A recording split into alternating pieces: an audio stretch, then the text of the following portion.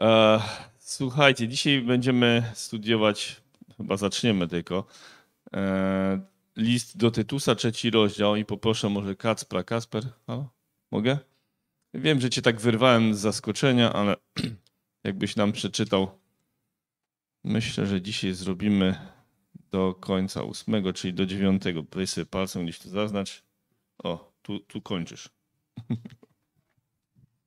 Przypominaj im, że powinni podporządkować się zwierzchnim władzom, słuchać ich i okazywać gotowość do wszelkiego dobrego uczynu. Nikogo nie lżyć, unikać sporów, odznaczać się uprzejmością, okazywać każdemu człowiekowi wszelką łagodność. Niegdyś bowiem i my byliśmy nierozumni, oporni, błądzący, służyliśmy różnym rządom, rządzom i rozkoszom, żyjąc w złości i zawiści, godni obrzydzenia, pełni nienawiści jedni ku drugim. Zaś gdy ukazała się dobroć i miłość Zbawiciela, naszego Boga, do ludzi, nie ze względu na sprawiedliwe uczynki, jakie spełniliśmy, lecz z miłosierdzia swego, zbawił nas przez obmycie odradzające i odnawiające w Duchu Świętym, którego wylał na nas obficie przez Jezusa Chrystusa, Zbawiciela naszego, abyśmy usprawiedliwieni Jego łaską stali w nadziei dziedzicami życia wiecznego. Nauka ta zasługuje na wiarę i chcę, aby z całą stanowczością o tym mówił, że ci, którzy wierzą w Boga, mają się starać usilnie o pełnienie dobrych czynów. Jest to dobre i pożyteczne dla ludzi. Dzięki. Słuchajcie, dzisiaj bardzo, bardzo takie, bym powiedział, trochę drażliwe, szczególnie dla Polaków tematy, bo będziemy mówić trochę o polityce. O matko, co się będzie działo. Jak słowo polityka, to Polacy się od razu ożywiają. Ale w dzisiejszym fragmencie, w liście do Tytusa w trzecim rozdziale, mamy jedno, jeden pierwszy werset, który jest bardzo ważny, a o którym bardzo często chrześcijanie, jako chrześcijanie zapominamy. I to tak bardzo zapominamy, że e, słuchajcie, dzisiaj wielu ludzi na przykład nie jest, wielu wierzących nie, nie ma ich w kościołach, tylko i wyłącznie dlatego, że e, pokłócili się o politykę z innymi wierzącymi. Totalna głupota, wam powiem, naprawdę. Jak można odchodzić od kościoła, bo, bo, bo oni są za tymi, a ja jestem za tamtymi? Po prostu nie wiem, nie wiem z czego to wynika. Chyba z tego, że nie wierzymy słowom Pisma Świętego.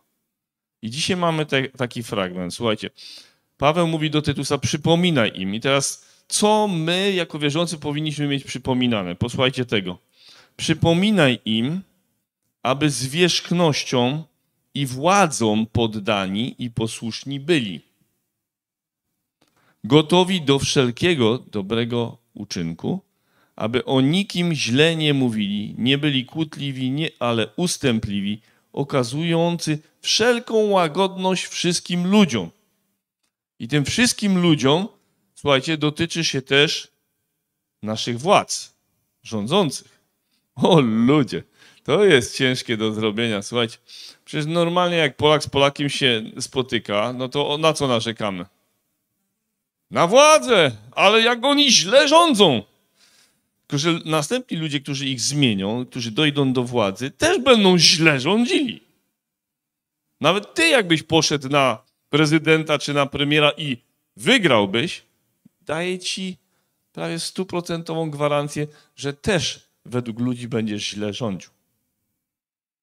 Żyjemy w narodzie, który zawsze i wszędzie na władzę narzeka. I my, chrześcijanie, którzy powinniśmy mieć inną naturę, robimy dokładnie to samo.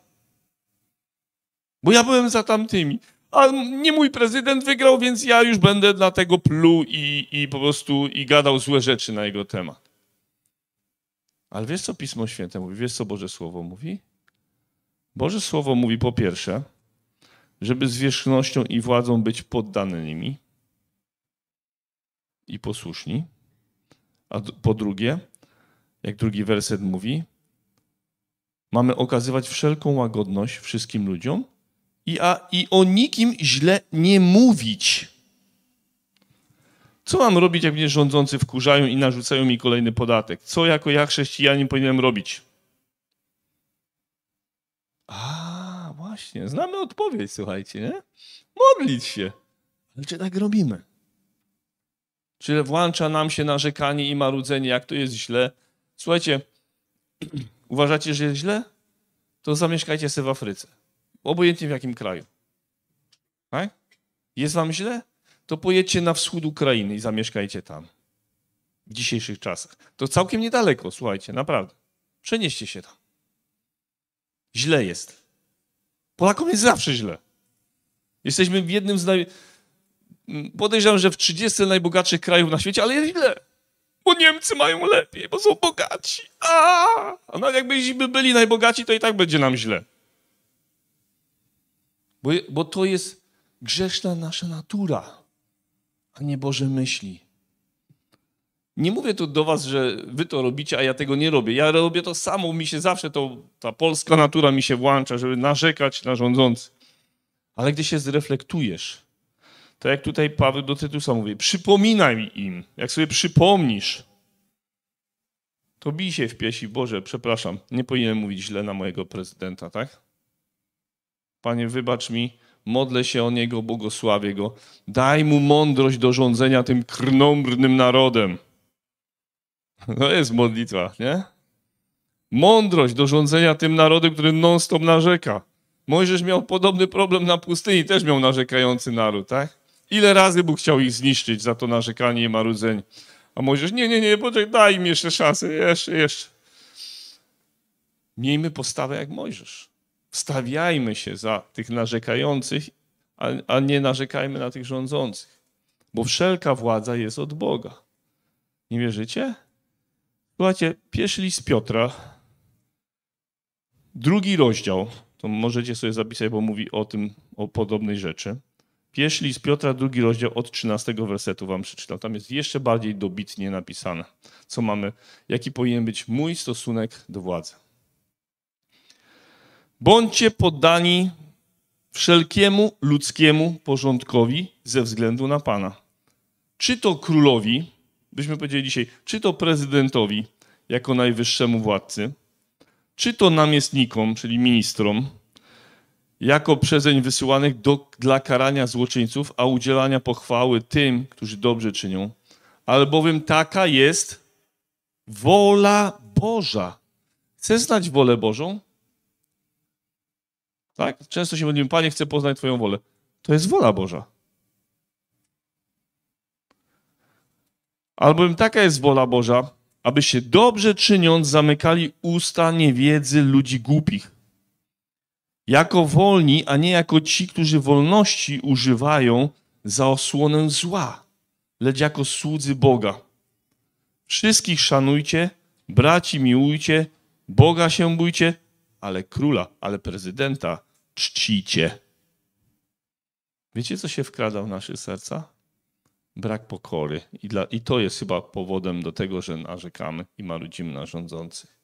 Zamiast być im poddani i oddawać im należną cześć. Nie Bożą cześć, nie boską, tak jak cesarz wymagał, bo tego chrześcijanie nie robili i nie będą robić, ale mamy szanować tych, których Bóg dopuścił, że nami rządzą.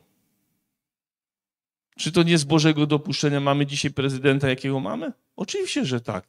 Bóg dopuścił, bo uważał, że tak będzie dla Polski lepiej.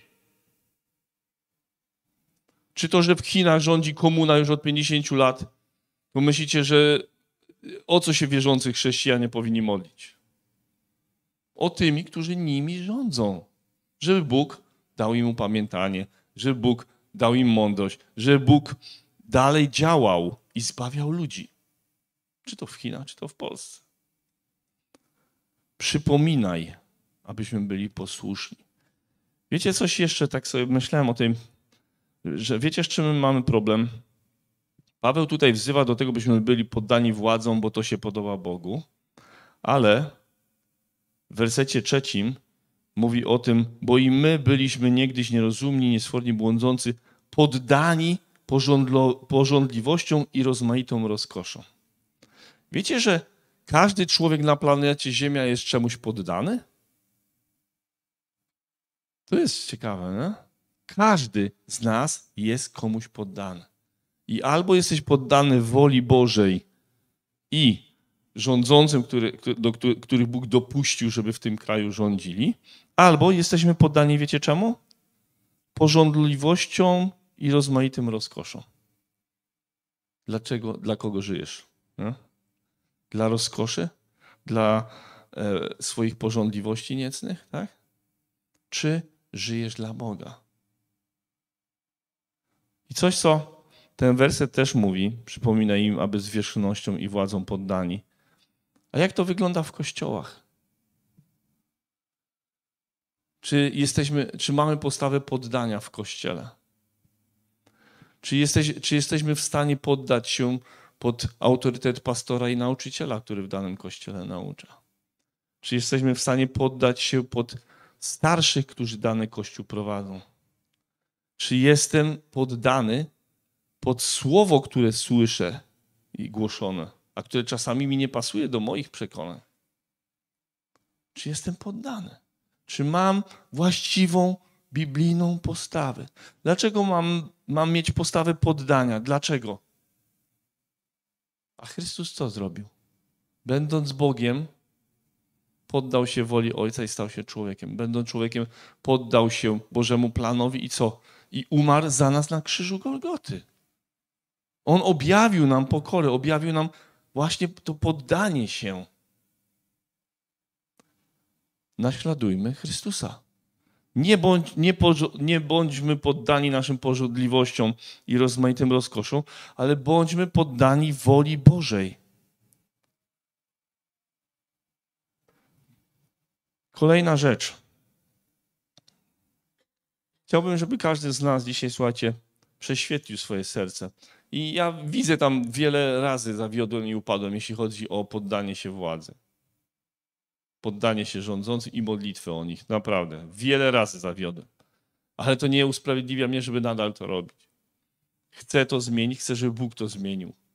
Nie chcę być tak jak każdy tam, narzekający na wszystko i wszędzie. Chcę być uwolniony od tego i myślę, że wy też chcecie być wolnymi od niewłaściwej postawy do rządzących. Przypomina im. Więc ja wam przypominam. Wiecie, że Bóg chce okazać wszelką łagodność wszystkim ludziom? Dlaczego? I rządzącym też. Dlaczego chce im okazać, jak myślicie, łagodność wszystkim ludziom? Dlaczego my powinniśmy okazywać łagodność wszystkim ludziom? Wiecie dlaczego? Odpowiedź mamy w wersecie trzecim. Popatrzcie w tekst. Bo i my byliśmy niegdyś tacy. Widzicie? Przecież każdy z nas był kiedyś niewolnikiem porządliwości i rozmaitych rozkoszy, nie jest tak? My byliśmy tacy sami. Dlatego nie postępujmy, nie potępiajmy, ale, ale łagodnością przyprowadzajmy ludzi do Chrystusa. Bo i my byliśmy niegdyś, jacy byliśmy, słuchajcie, nierozumni, niesforni, czyli zbuntowani. Błądzący, oczywiście, że tak. Nawet wierzyliśmy w różne głupoty i dzisiaj się z tego śmiejemy nawet, tak? Poddani porządliwościom i rozmaitym rozkoszom, żyjący w złości i zazdrości. Mieliście do czynienia kiedyś z, tym, z takimi problemami jak złość i zazdrość? Nie było tego w naszych sercach? Oczywiście, że była.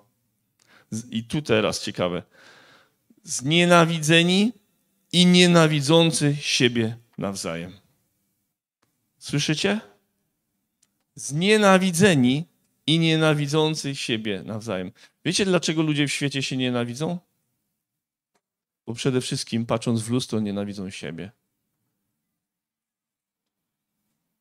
Nie mówią tego wprost, ale ludzie nienawidzą siebie, później nienawidzą wszystkich, którzy są wokół nich. I to jest powiedziane, że bo myśmy, bo i myśmy tacy byli.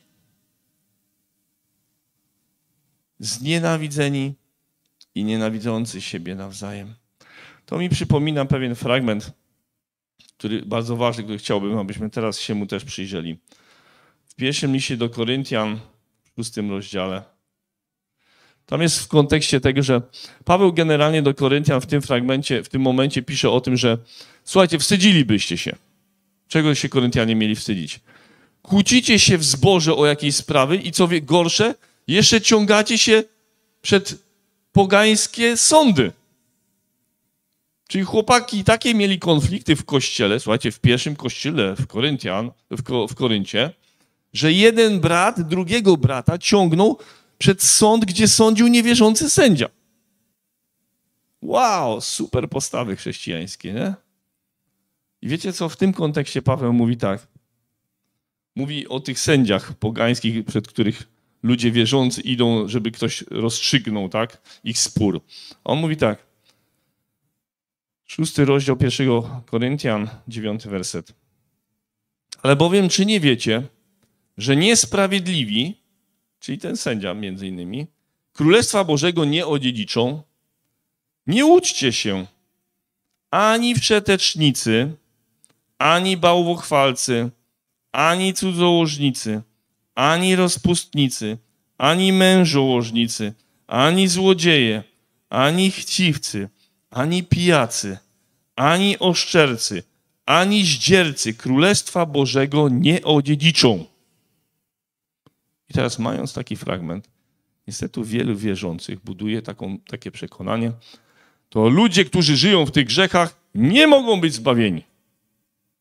Ale nie czytają. Gdzie? W kontekście.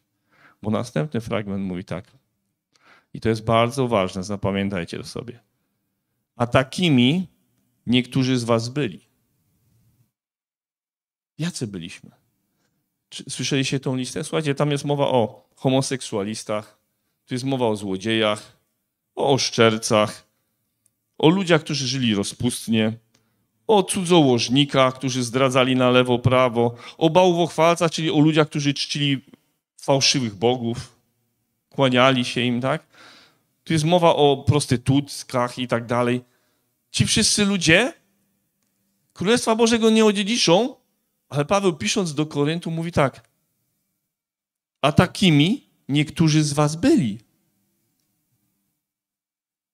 Ci ludzie, ta cała lista mówi o ludziach, którzy są w kościele. Wśród nas powinni być i mogą być homoseksualiści, którzy co? Przyszli gdzie? Pozbawienie do Jezusa Chrystusa.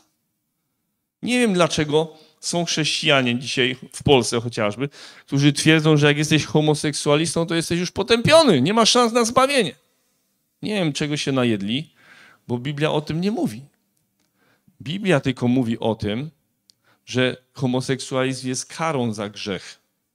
Za grzech odrzucenia Boga jako stwórcy. Bo Bóg generalnie stworzył dwie płcie. Naprawdę. Mężczyznę i kobietę. Jeśli tego nie uznajesz, to wymyślasz jakieś bzdury, że jest już teraz chyba już jest kilkadziesiąt płci, jakie sobie ludzie wymyślili. Ale dlaczego to robią? Bo nie uczcili Boga jako stwórcę. I karą za, za to, że nie uczciłeś Boga jako stwórcę, jest między innymi homoseksualizm. I o tym mówi bardzo wyraźnie list do Rzymian, pierwszy rozdział. Ale to nie oznacza, że ci ludzie nie mogą się nawrócić, nie mogą przyjść pozbawienie do Jezusa i być w kościele. Takimi, jak to jest powiedziane? To było 6.11. A takimi niektórzy z was byli. Widzicie? Każdy człowiek, każdy grzesznik ma możliwość skorzystać ze zbawienia, które Chrystus przygotował. Bo co Jezus robi, gdy wchodzi w nasze życie? Jedenasty werset mówi, a takimi niektórzy z was byli, ale teraz co? Aleście obmyci krwią Chrystusa, uświęceni przez przyjęcie szaty Chrystusa i usprawiedliwieni w imieniu Pana Jezusa Chrystusa i w duchu Boga naszego. Widzicie, co się dzieje? W momencie, gdy grzesznik, każdy grzesznik, czy to homoseksualista, czy prostytutka, czy ktokolwiek z tych wymienionych tutaj, przyjdzie do Jezusa i powie: Boże, zbaw mnie, bo nie jestem w stanie się wyzwolić z tych grzechów, wybacz mi, to co Jezus robi? Obmywa, uświęca i usprawiedliwia. On to robi. Dzisiaj. Bo dzisiaj jest dzień łaski, dzisiaj jest dzień zbawienia. Każdego chce zbawić. Czy nie tak czytałem w Bożym Słowie? Że Bóg chce, aby każdy człowiek był zbawiony? Oczywiście, że tak. I każdy z nas ma szansę nawrócić się Gdy co? Gdy jeszcze żyjemy. Gdy jeszcze nie oddaliśmy ostatniego tchu, tchnienia, tak? Każdy z nas tu za życia na ziemi ma możliwość przyjąć Jezusa i być zbawionym. Słuchajcie, pierwszy raz, kiedy doświadczyłem szoku, jeśli chodzi o, o, o, o to, że mogą chodzić po ziemi ludzie, którzy uważają się już za potępionych i nie ma dla nich szansy. To było na ulicach e, Lwowa kiedyś. Głosiliśmy Ewangelię na ulicy, robiliśmy pantomimę.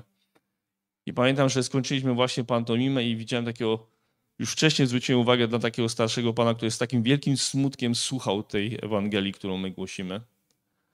I pamiętam, że tylko żeśmy skończyli, on się odwrócił i zaczął powoli odchodzić. I Bóg, powie, Bóg mi tak położył na sercu, biegnij za nim, i za nim, tak? Wiecie co, ja pod, podeszłem do niego i się pytam go, jak mu się to podoba. Mówi, że no super, fajnie, fajnie mówicie, ale to nie jest dla mnie. Ja mówię, dlaczego to nie jest dla ciebie? To był taki 70-letni gdzieś pan, słuchajcie, bardzo no, starsza osoba. On mówi, bo ja jestem, czy tam byłem homoseksualistą, a, a, a wierzący mi powiedzieli, że ja nie mogę być zbawiony. I wiecie co? Ja tak po prostu, tak mi się przykro zrobiło, że ktoś mu taką głupotę powiedział. Ja mówię, to nieprawda. Bóg chce, aby Pan dzisiaj był zbawiony. Niech Pan przyjmie z rąk Jezusa zbawienie, a On obmyje i oczyści każdy Pana grzech. Każdy.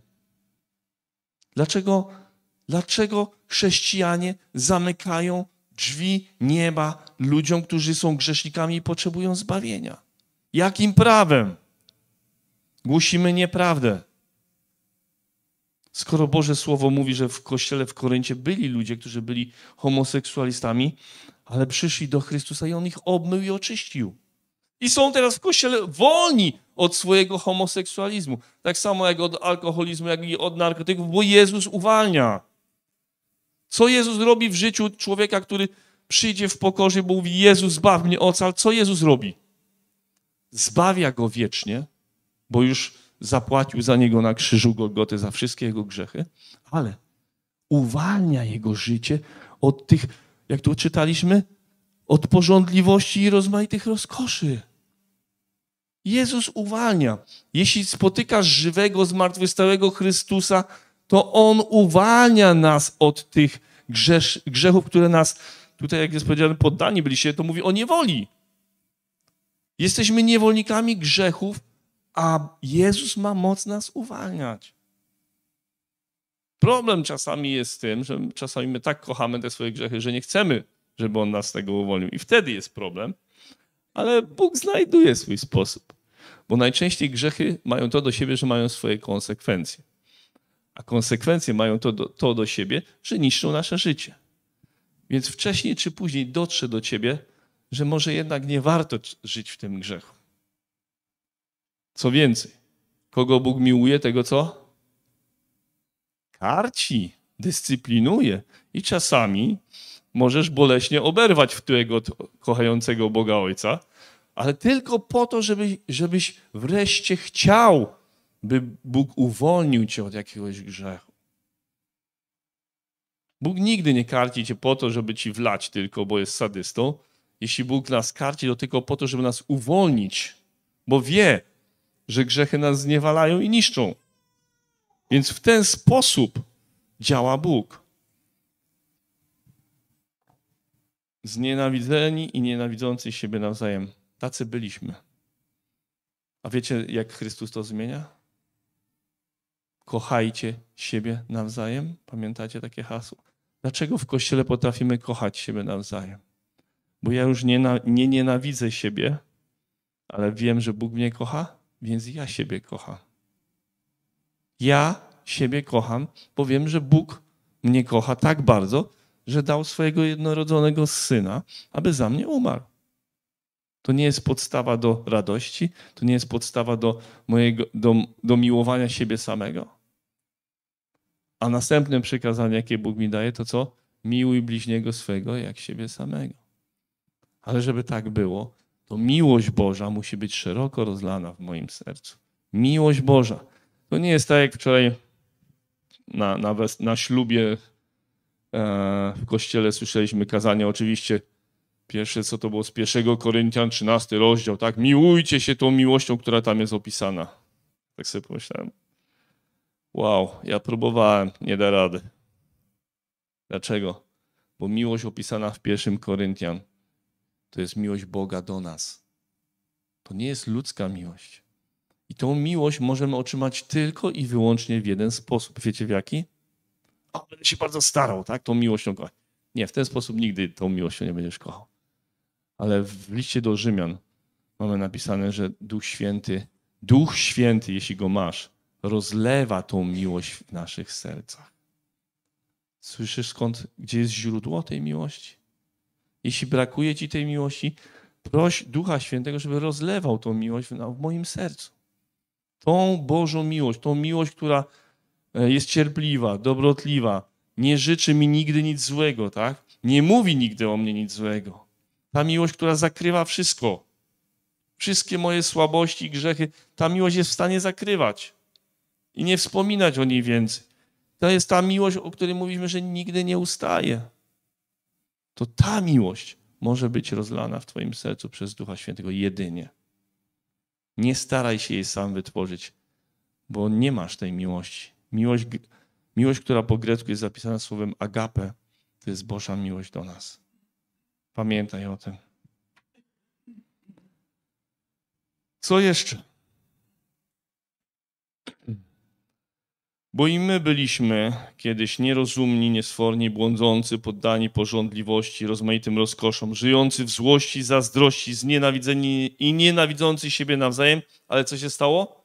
Następny werset mówi: Ale gdy się objawiła dobroć i miłość do ludzi Zbawiciela naszego Boga. Ale coś się stało. Objawiła się dobroć i miłość. Ja nie wiem, Dlaczego chrześcijanie czasami uważają, że żeby ktoś przyszedł do upamiętania, to my musimy go straszyć surowym Bogiem? O, już słyszałem takiego gościa, oj, on się nawrócił, bo, bo poznał potęgę i surowość Boga. A to jest kolejny werset, który wiecie co mówi? Że my byliśmy nienawidzący siebie, ale objawiła się co? Dobroć i miłość do ludzi Zbawiciela naszego. Wiecie, co przyprowadziło mnie do Jezusa? Wiecie, co sprawiło, że w pewnym momencie swojego życia, jako 23-latek, powiedziałem: Jezu, nie widzę sensu bez Ciebie, Ty zmień moje życie, wejdź do mojego życia i narodziłem się na nowo. Wiecie co? Jego dobroć, miłosierdzie, miłość. Te cechy, te atrybuty Boże sprawiły, że ja chciałem i powiedziałem: Jezu, ja Ciebie chcę.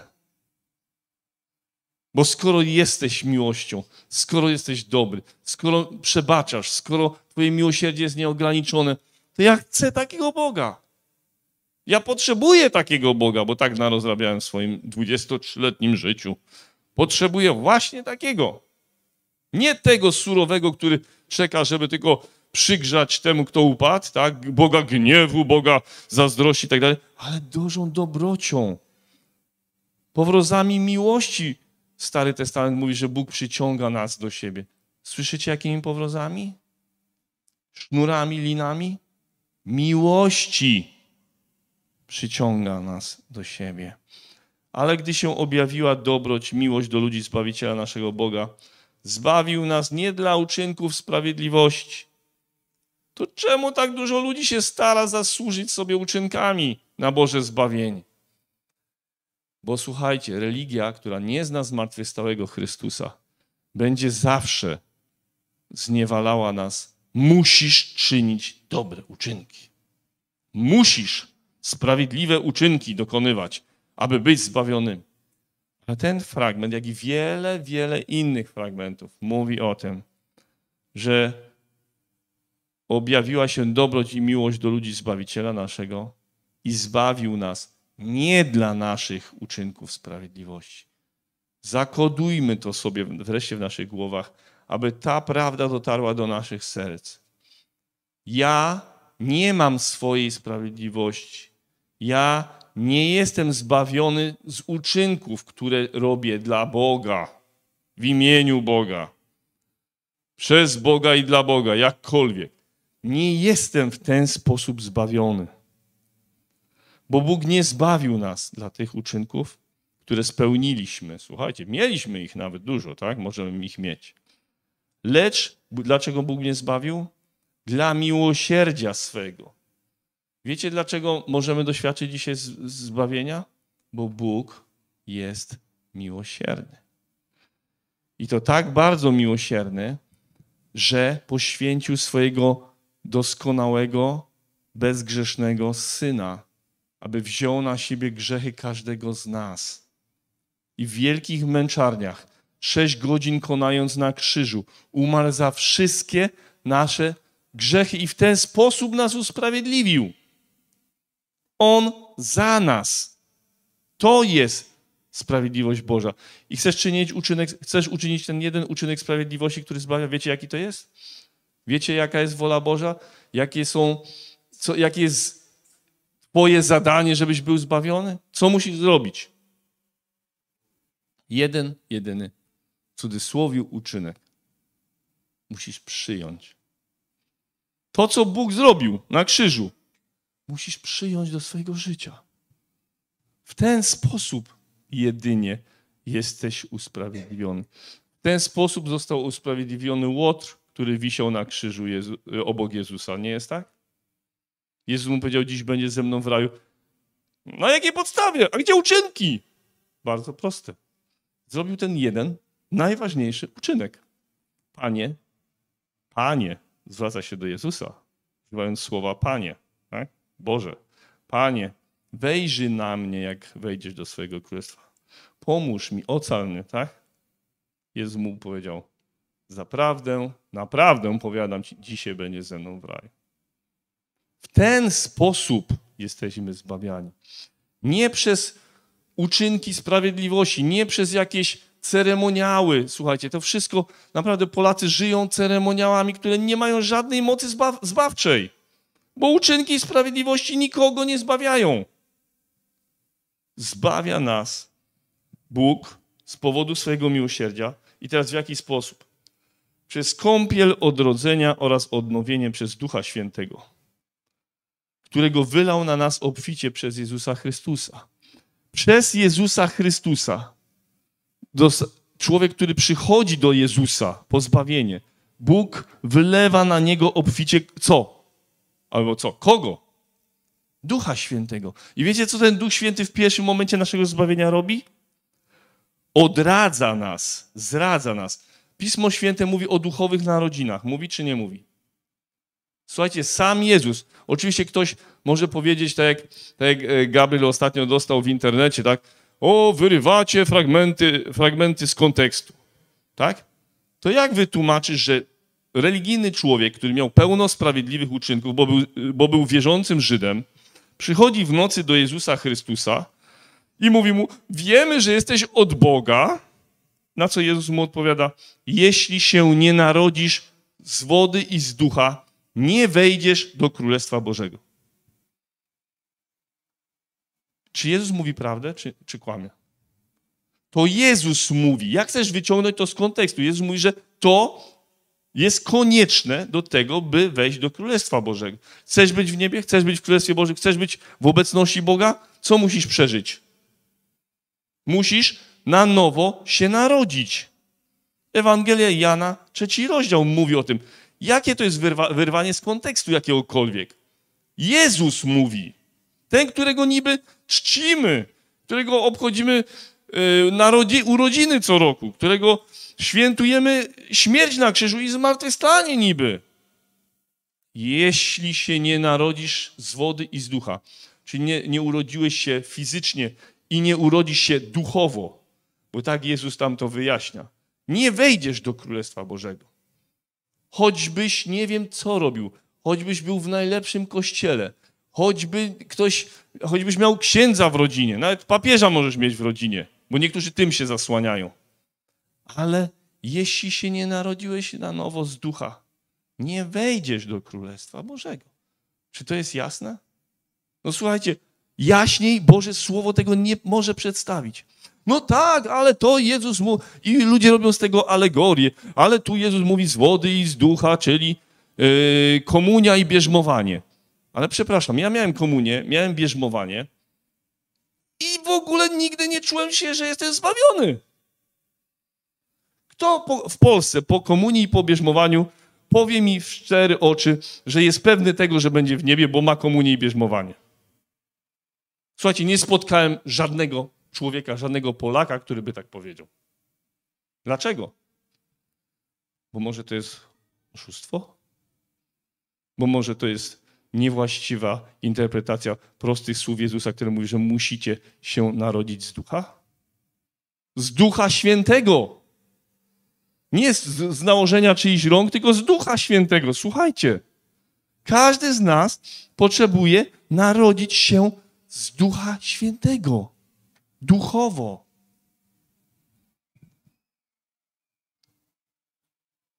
Miłosierdzie swe Bóg objawia przez kąpiel odrodzenia i odnowienie przez Ducha Świętego.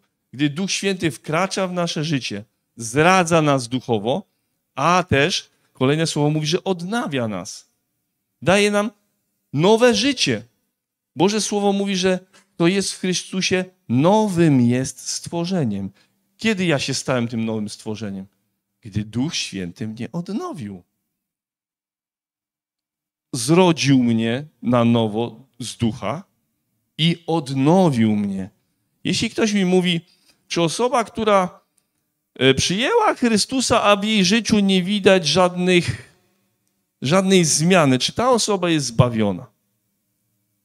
Powiem wam tak, mam duże wątpliwości. Dlaczego? Bo jeśli Bóg, Bóg gdy przyszedłeś do Jezusa Chrystusa, Bóg wylewa na ciebie obficie Ducha Świętego, Ducha Świętego, który zdradza cię na nowo i odnawia cię, to ja mam wątpliwości, czy masz tego ducha. Bo Duch Święty, wkraczając w nasze życie, wnosi zmianę. Zmianę nawet w takich małych szczegółach naszego życia.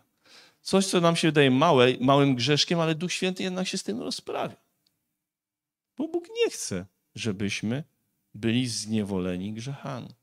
Duch Święty będzie działał i będzie uwalniał człowieka wierzącego.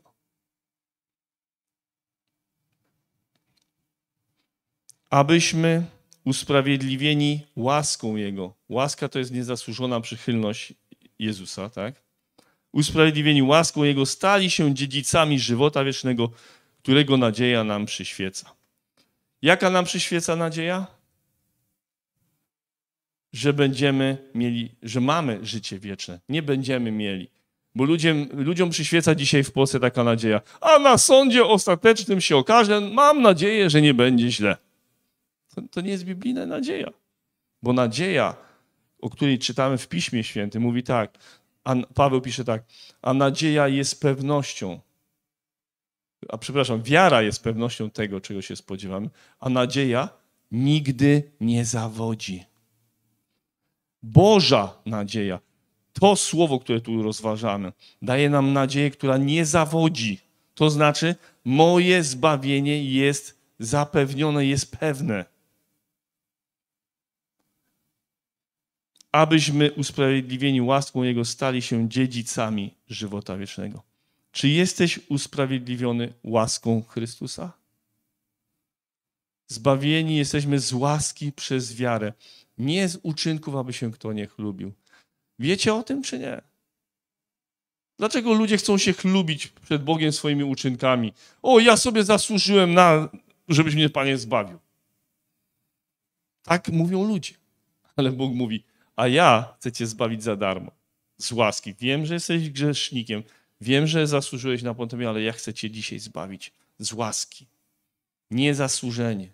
Nie zasługujesz na to, ale możesz przyjąć, bo ja zapłaciłem bo ja jestem miłosierny, bo ja e, wylewam obficie Ducha Świętego, bo ja zbawiam, usprawiedliwiając was łaską swoją, nie z waszych uczynków.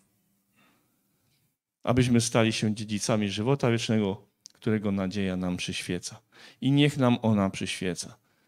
Podsumowuję dzisiaj, tak? Pierwsza rzecz, bądźmy poddani władzy. Módlmy się o tych, którzy nami rządzą. Jeśli tego nie robimy, upamiętajmy się z tego i zacznijmy to robić. Naprawdę przykro mi, że wiele osób odeszło z kościoła, dlatego że wygrał prezydent Duda, a nie prezydent inny. Naprawdę to jest, dla mnie to jest aż głupie, ale ludzie z takiego powodu odeszli z kościoła, słuchajcie. Po co? Jak to, jakie to ma znaczenie dla wieczności? Druga rzecz. Okazujmy łagodność wszystkim ludziom. Dlaczego? Bo myśmy byli tacy sami. Pamiętajcie o tym. Nie potępiamy homoseksualistów, bo my byliśmy tacy sami w oczach Boga. Wiecie o tym? Nie potępiamy tych, co kradną, co nie, nienawidzą, tych, co, e, co oni tu jeszcze robią, zdradzają, kombinują, oszukują. Nie potępiamy tych ludzi, bo my byliśmy tacy sami. Ale spotkaliśmy Chrystusa. I gdy spotkasz Chrystusa, twoje życie musi ulec zmianie. Musi. Ulegnie zmianie, bo Duch Święty pracuje w tobie po prostu. I to nie jest coś, co ty robisz, tylko Bóg. I zakończę takim fragmentem, który teraz mi przyszedł do głowy.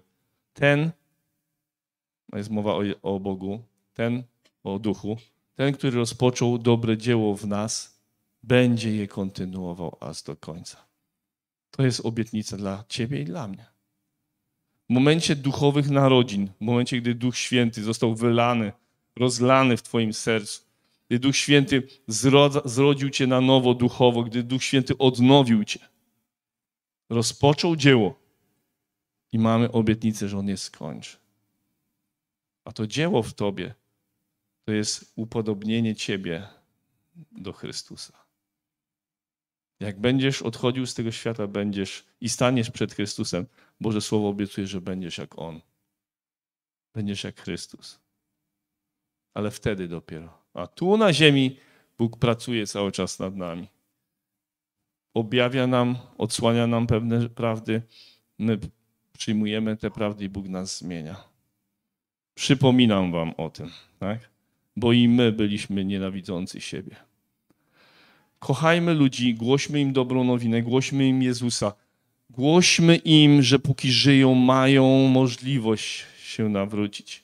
Słuchajcie, ja nie wiem. Mam nadzieję, że tego 70-letniego homoseksualistę w Lwowie, że ja go spotkam w niebie. Chciałbym. Naprawdę. Jeszcze jakby się okazało, że ode mnie usłyszał Ewangelię i, i będzie w niebie, wow, rzucę mu się w ramiona, naprawdę tam w niebie. Bóg do ostatniego naszego tchnienia chce, abyś był zbawiony, ale po śmierci już nie może ci pomóc. Po śmierci jest za późno. Tu i teraz powiedz mu tak, a będziesz żył na wieki. Powiedz mu, chcę Zbawiciela, chcę Jezusa. Pomódmy się.